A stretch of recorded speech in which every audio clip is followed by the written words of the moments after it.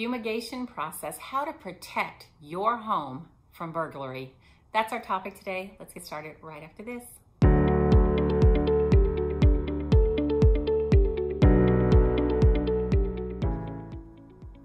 Hi, I'm Kim Ward, certified probate real estate advisor and expert at helping administrators and executors with homes in probate. If you're new here, welcome to my channel or welcome back.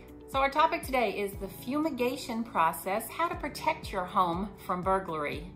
A few years back, I was helping with a home that was in a trust. A past client of mine had passed away and he'd actually written in his trust to have me be the real estate professional that helped his family to prepare, market, and successfully sell the house that was in the trust. During the escrow process, we scheduled a fumigation of the property. Now, keep in mind, we had already had an estate sale and all the personal property had been removed. The estate sale was taken care of, the rest was donated, and so there wasn't anything in the house to steal. And I had replaced the carpeting in the master bedroom prior to putting the house on the market after all the personal property was gone. So it was brand new. I went into the property after the sale because the fumigation company called me saying it looked like someone had broken into this home and they had and there was mud all over the brand new carpet and it was obvious that they were in there trying to steal things that weren't even in the home. Unfortunately, they ran all over the house and there was mud all over the various carpets in the house. So I quickly contacted a carpet cleaning company and sent them in and they took care of that situation and everything went fine with the rest of the sale. But if this had been a typical sale or if there was still personal property left in the house, as you can imagine, that would have been a very difficult situation for the executor or administrator or trustee to deal with, having had someone break in and steal personal property, heirlooms, things that were important to them. So these are some tips that I have come up with to protect from that circumstance. Number one is we would discuss that possibility with the fumigation company and be sure to have everything locked up tight, no open windows or anything like that while there was a tent on the property for the fumigation. Now, of course, the fumigation company is going to say that you are responsible for the security of the property. They can't be responsible, but it doesn't hurt for us to talk to the fumigation company and ask them to make sure they have steps taken to protect the property as much as possible. Sometimes we simply put uh, rods of wooden rods in the windows and the sliding glass doors so that it's very difficult for them to be opened.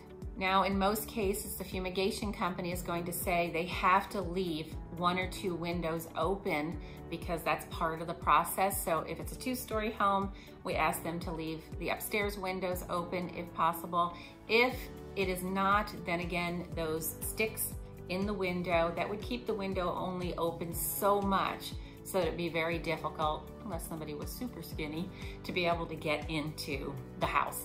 If the property does have a home security system still in effect, you probably can just leave that security system in place. I would make sure that the fumigation company knows how to turn it on and off so that the house stays secure under that security system. The way we would do this with the fumigation company so as not to give them the actual code to the house is to give them a temporary code. They would then use the temporary code to arm and disarm the system. And then once they were completed, we'd go right back to using the original code that the fumigation company would not have.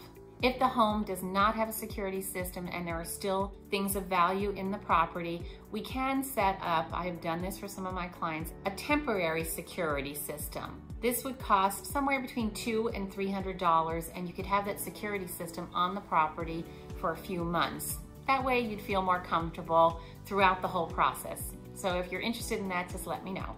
Another thing, an easy thing, is to speak with the neighbors. Let them know that the house is being tented and if they would please just keep an eye on it. If they see anything odd happening to please call me. Most of the time my clients, my executor, administrator, trustee clients do not live here in San Diego and so I would be the first contact to make sure that right away we could get something happening at the house if the neighbors thought that something had occurred of course, I'm gonna let you know as soon as possible, probably on my way over to the house to let you know that something had occurred and that I was on the job to make sure what had happened and what we could do about it.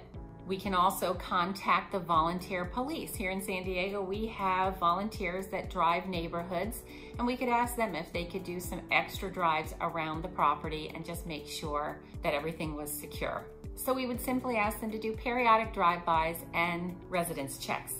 If there are lights outside the property that would be outside of the tent, we would leave those on so that the property was lit up more. That could discourage anyone trying to enter the property under the tent. Take valuable items out of the property, including any safes that are not permanently attached. Something that's important for you to know is that the fumigation company may require that the safe be open. If it's something that's permanently attached, they may require that to be open especially if it's something that's large enough for a person to be able to fit in. It's a safety thing.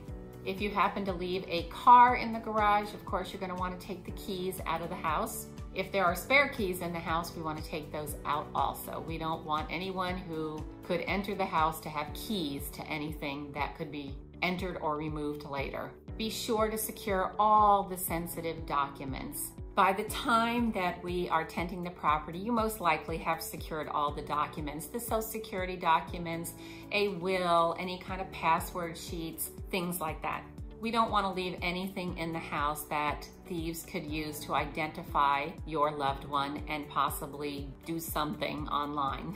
Of course, it's very expensive, but you could arrange to have a private security company come and stay at the house. You could also rent an RV, or if there is an RV available, someone could stay in an RV on the property. I had clients last year that did that. They weren't involved in a, a probate or a trust sale, but that's how we first met. I helped them go through the probate of his parents' house. But he and his wife were now selling their personal property that they lived in and moving to Tucson, Arizona. And so when the house was tented, they took my advice and they stayed in their RV right on the property. So those are some things to think about. I hope you found it of value. If you did, go ahead and give me that thumbs up, comments or questions below. And to be notified of my weekly videos, and you wouldn't want to miss any of them, hit that bell button and subscribe to my channel. I look forward to seeing you next week.